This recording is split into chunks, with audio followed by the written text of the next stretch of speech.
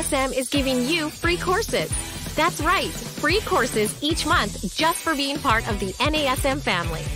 Learn about everything ranging from nutrition to strength, weight loss to stress relief, and everything in between. Click the link in the bio for information and to claim your free course before they're gone. You're listening to the NASM CPT podcast with Rick Richey, the official podcast of the National Academy of Sports Medicine.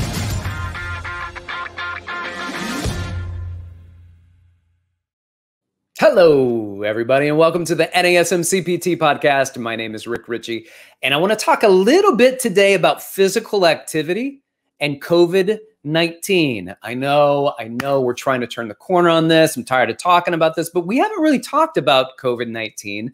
And here's what I like about the conversation today is we're going to talk about physical activity. We're going to talk about exercise and how we see in the research that it's become protectant against COVID 19 and the bug that causes COVID 19, that SARS CoV 2. So, the SARS CoV 2 is the virus, COVID 19 is the sickness. So, we're going to talk about it. And, and I know that we're, we're frustrated during this time. One of the biggest complaints that I got from my gym owner friends is that that it was we were not considered to be essential but fast food was right? So you could open up a fast food restaurant and that's essential but but fitness facilities were not considered essential and i get it. I get it. As a gym owner i get it. And the episode is not to judge one way or the other about the shutdown or about the responses to an awful pandemic Rather, the point we're trying to do is want to point out the dangers of the lack of physical activity during the COVID 19 pandemic. And then maybe let's discuss some of the importance of prioritizing physical activity because it's been a big deal.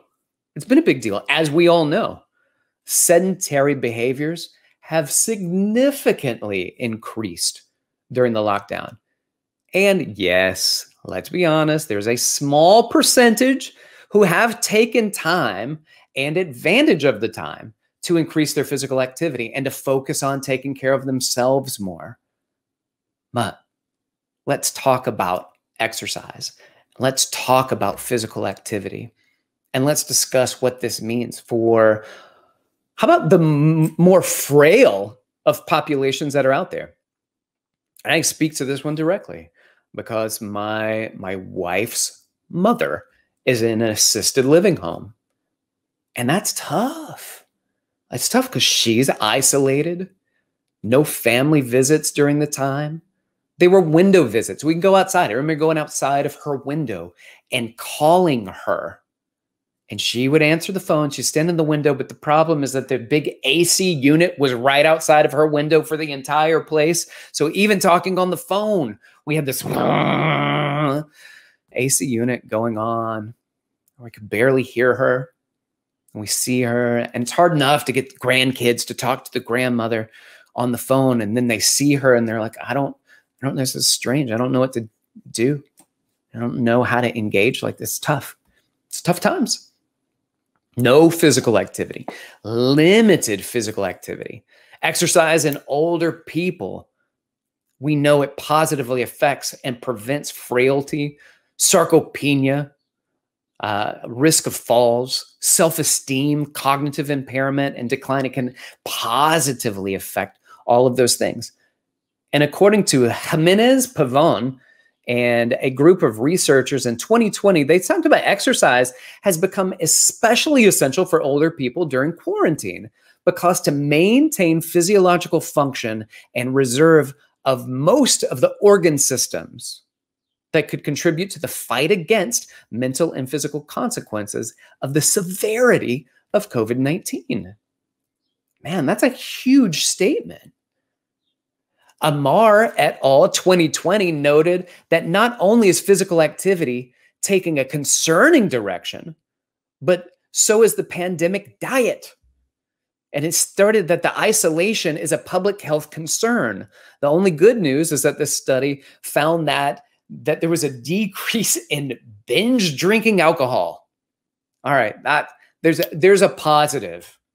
that has come from some of the isolation that has taken place, but the negatives are things that we're concerned with. And these are things that we can control. And as fitness professionals, we don't, we're encouraging physical activity and we can address physical activity, not necessarily working out. Being more active throughout the day. How can we do that? And how can we prioritize it? Check this out. This would be front page news if it were uh, a prescription medication or an over the counter medication in a fight against COVID 19. It'd be front page news. Here's a statement is an integrative literature review by De Silva and his colleagues in 2021, noting that physical activity provided pro and anti inflammatory cytokine responses. It increased lymphocyte circulation and cell recruitment that led to lower incidences, limited symptoms, and reduced mortality from SARS CoV 2 infections and the COVID 19 illness. You kidding me? Kidding me? If they found that that was a pill form, Big Farm would be like, what? The PR on blast, gonna be in every newspaper but what do we see when it's physical activity? We say, "Oh yeah, yeah, maybe you should do some be more physical activity. It's probably good for you." We've got we've got the science, man. We keep talking about the science. We got the science. We got peer-reviewed content showing over and over physical activity supportive in the fight against SARS-CoV-2 and COVID-19. Front page news? No. No, not front page news. Not news. Why? Yeah, I don't know. Gerson and his colleagues, 2021, reported that participants who experienced the greatest decline in um, physical activity, moderate to vigorous physical activity, reported relatively greater psychological distress and lower life satisfaction. People who are exercising less, experiencing declines in physical activity, are having greater psychological distress and lower life satisfaction. I posted recently on my social media page, it was last week, a study that shows that there is a reciprocal relationship between physical activity and happiness. This is a great study by Anne et al in 2020. It said regardless of age. So we looked at young people, looked at adult, we looked at older age and elderly populations. And it was clear that the more physically active people are, the happier they are. So, all your crazy friends who can't stop talking about their high intensity workout or the class that I went to or the thing I'm involved in, and they won't shut up about it. You know why? They can't help it because there's an association between happiness and increased physical activity. They're happy for real. And there's a reason. Happier people tend to be more physically active, but the study showed a reciprocal relationship too. That if you're more physically active, you tend to be happier but also, happier people tend to be more physically active. You talk about upward spirals. This is good stuff. Upward spirals. Barbara Fredrickson, upward spirals, broadening and building. And the cool thing about this concept of upward spirals is that as you get better at anything, not just physical activity, according to Fredrickson's research, but she talks about anything that you do and get better at and start to build confidence in and start to develop mastery and getting some autonomy. When we get into some self determination theory here, you become more competent. You relate it to other people. You start doing that it starts to affect you in other aspects of your life, not just not not just pickleball, not just bocce ball or shuffleboard. Fitness in general. not just arts and crafts. You get better at arts and crafts and you start applying a focus in your life, a feeling of purpose that goes outside of that purpose. It sends you into a serious and beautiful upward spiral. All right. Physical activity. Happier people, physical activity, physical activity, happier people. Knowing this, we have to encourage people to be more physically active, active from home. Because sometimes at many places still, gyms are still closed. And I'm a huge fan. I'm a huge fan of the direct to consumer fitness apps that are being put out there, the programming that trainers have been able to do, training people virtually. And so many NASM trainers have reported uh, increasing their virtual training and found huge benefits for their business, but their clients but their clients getting huge benefits by being able to still be active while they're at home. The virtual training course that NASM has provided help to trainers all over the world to help people connect with fitness and physical activity from home during this time. I think it's fantastic. And here's the thing I think the trend is going to continue. The trend will continue.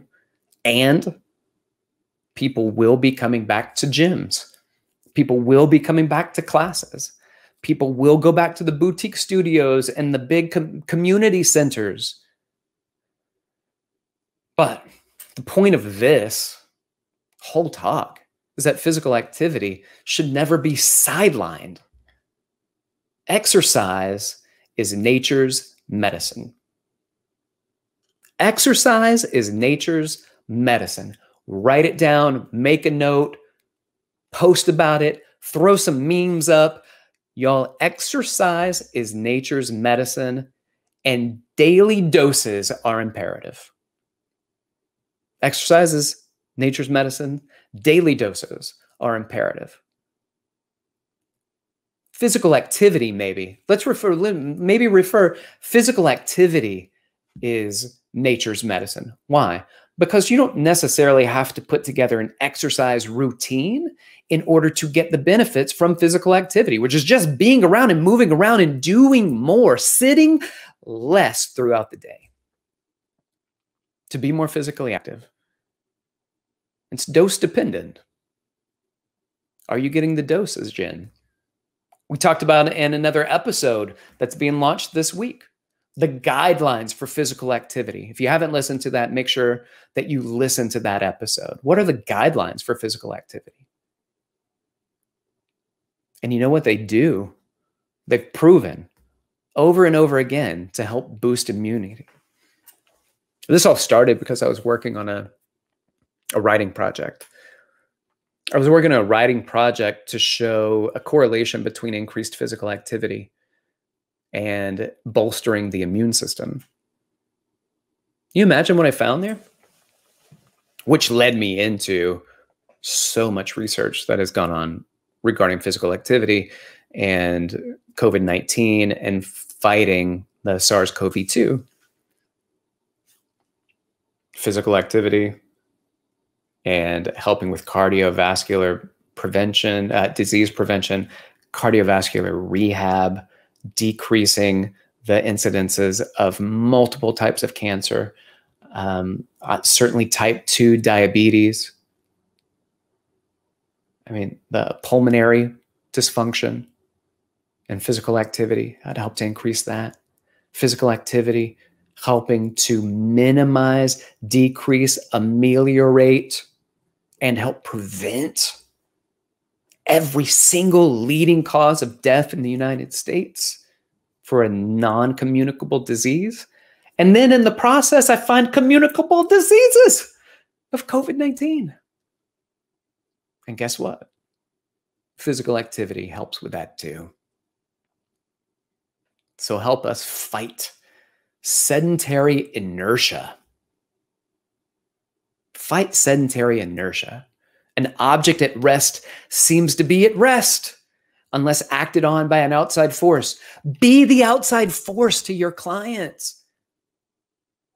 Be the outside force. Help fight sedentary inertia, help to get people moving, help to inspire daily activity beyond the training session, not just workouts, not just exercise, but being more regularly active throughout the day. And remember that exercise is nature's medicine and we are its pushers. so let's get out there and make change where we can make change. And if we can't make change, let's influence it in whatever way that we can. Thank you so much for taking time to listen to this. Um, if you like the episode, please share it with people that you believe need to hear it. Subscribe to it, give us a five star review. Thank you so much for listening. My name is Rick Richey. You can reach out to me directly, mostly on Instagram, dr.rickrichey, or you can email me, rick.richey at nasm.org. Thank you so much. This has been the NASM CPT podcast.